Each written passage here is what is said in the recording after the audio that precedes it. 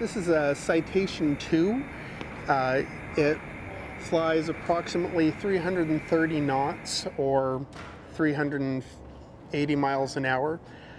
Has a range of about four hours, which would give us roughly about 1,500 miles. Uh, we can go from Canada to Mexico without refueling.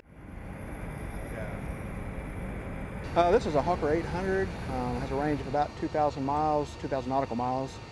Um, we use it uh, for international transports. We fly all over the world. This is a Lear 35A. The range is over 2,500 miles, and we can go four hours nonstop, and then we can uh, refuel. A Lear can go almost anywhere in the world, and uh, based on uh, the fueling process. And the range is uh, quite long, like I said, four hours, and it flies around 41 to 43,000 feet in the air. So that's about eight miles above the ground, and it's a very smooth ride.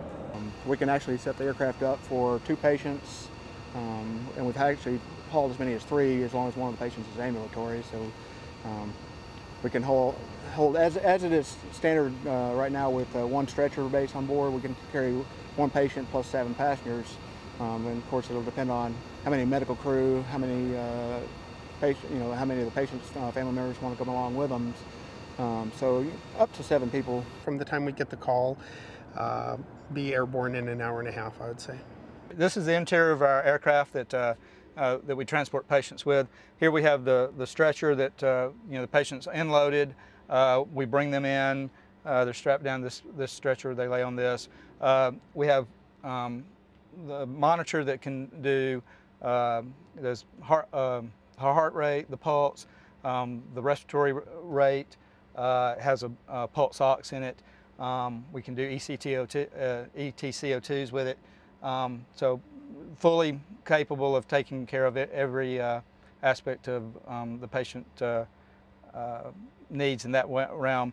Uh, we, we have the LTV uh, ventilators. Everything, as you can see, is kind of concise and in here all together, but that's, that's the way we like it. it uh, the nurses and the physicians sit on this side. We're able to uh, attend to all the needs of the patient.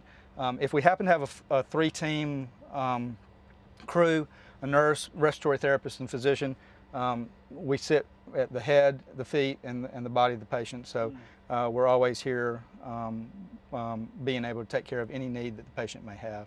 This is basically just an emergency room with wings. I mean, anything you would find in a hospital ER, we're going to have on board here.